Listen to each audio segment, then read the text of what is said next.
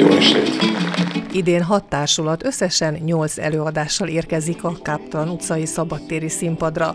Örömteljes szórakozásnak lehetnek részesei azok, akik ismét a Pécsi Nyári Színházat választják esti feltöltődésre. Igyekszünk jó kedvet teremteni a nézőinknek, mert nagyon rossz időket élünk, azért ezt vegyük tudomásul, hogy hátunk mögött háború és járvány.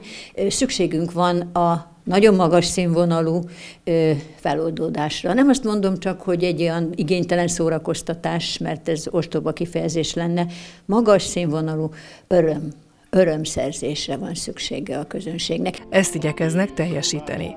Gergely Robertnek megvolt a 30 éves jubileumi nagy koncertje, mint nyitókoncert a Rég Várok Rád című dalestje.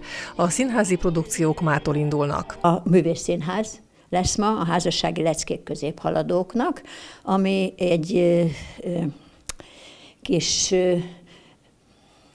kalandozás a, a szerelembe és a házasságba. Utána következik a legény búcsú, Csiki Gergely Színház, Kaposvár, majd Mágnás Miska következik a Rátonyi Róbert Színháztól.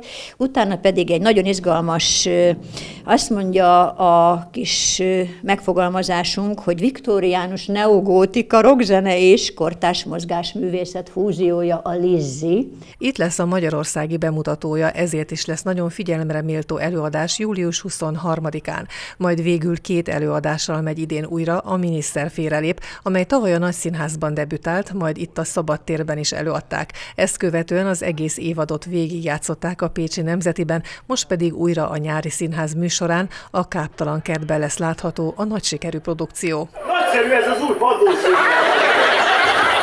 Megható az örömet!